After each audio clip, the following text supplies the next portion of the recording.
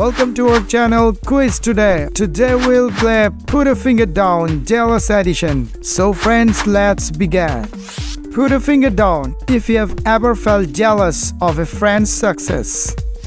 Put a finger down if you have ever felt jealous of someone's romantic relationship. Put a finger down if you get jealous when you see somebody having a good day. Put a finger down if you get jealous when you see your parents hug other kids. Put a finger down if you have ever been jealous of someone's physical fitness. Put a finger down if you have ever been jealous when you see somebody wearing nice clothes. Put a finger down if you have ever been jealous of somebody's talent or skills. Put a finger down if you have ever been jealous of somebody's academic achievements. Put a finger down if you are jealous of people who have huge muscles. Put a finger down if you are jealous of your pet because they receive more attention than you do. Put a finger down if you often get jealous when someone is better than you at your video game.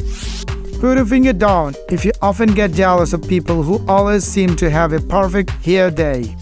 Put a finger down if you often get jealous of people who have summer homes that they visit.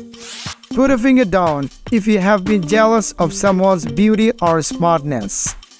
Put a finger down if you're envious of someone who wins a large super jackpot lotto.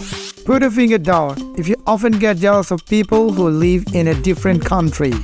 Put a finger down if you get jealous when your best friend goes away for a family vacation. Put a finger down if you get jealous when your best friend spends time with one of their other friends. Put a finger down if you're envious of those people who can eat everything and still maintain their weight. Put a finger down if you get jealous of the popular kids at school.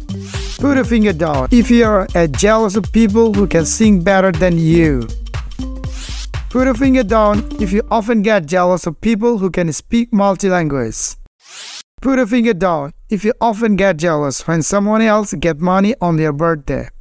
Put a finger down if you get jealous of your boyfriend or girlfriend when they talk to somebody of their opposite sex.